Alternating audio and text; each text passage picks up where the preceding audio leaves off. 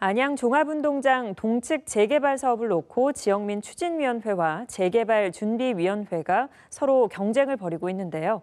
재개발 준비위가 먼저 안양시에 승인 신청을 했는데 지역민 추진위는 승인을 위한 동의서가 부정하게 작성돼 제출됐다고 주장하고 있습니다. 이와 관련해 경찰에 고발까지 한 상태입니다. 이창호 기자의 보도입니다. 지난 6월 30일 재개발 정비 구역으로 지정 곳이 된 안양 종합운동장 동측입니다. 이곳에서는 주민주도 지역민 재개발 조합 설립 추진위원회와 재개발 준비위원회 등 두 곳이 추진위를 구성하고 있습니다. 해당 지역의 전체 세대 가운데 10% 정도가 참여하는 추진위원을 구성한 뒤 번호가 매겨진 연번 동의서에 50% 이상의 주민이 동의해야만 승인이 납니다. 종합운동장 동측 재개발 사업 준비위원회는 지난달 6일 약 51%의 연번 주민 동의서를 받아 안양시에 승인을 신청했습니다. 하지만 지역민으로 구성된 주민주도 지역민 조합 설립 추진위원회는 추진위원 구성 동의서 자체에 문제가 있다며 무효를 주장하고 있습니다.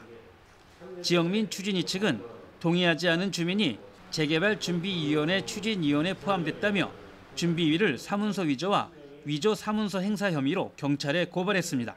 추진위원 등록 단계에서 그 사문서 위조 동기 좀 발견돼서 그거의 정황으로 인해서 다른 것도 좀 그렇지 않았을까라는 생각으로 불법적인 게 되면 그 피해는 고스란히 주민들한테 가는 거니까 그걸 좀 막아보려고 하는 취지에서 동의 없이 추진위원 명단에 포함된 주민 A씨는 경찰에 예비 추진위원으로 등록한 사실이 없다는 내용의 사실관계 확인서까지 제출한 것으로 확인됐습니다. 거기 들어가 있는 거를 제가 그 명단을 보니까 들어가 있더라고요. 그 동의를 해달라는 그런 말도 없었고 아무 그것도 없는데 내가 거기에 대입되는 거예요. 황당하죠. 저는 그거 제가 사인한 적도 없고 예, 동의한 적도 없고 그렇거든요. 이와 관련 종합운동장 동측 재개발 준비위원회 측은 본방송과의 전화 통화에서 그런 일은 전혀 없기 때문에 고발 건과 관련해서는 답변할 이유가 없다고 밝혔습니다. 종합운동장 동측 지역민 재개발 추진위원회 측은 안양시의 동의서에 대한 전수조사와 함께 공정한 행정 절차를 촉구했습니다.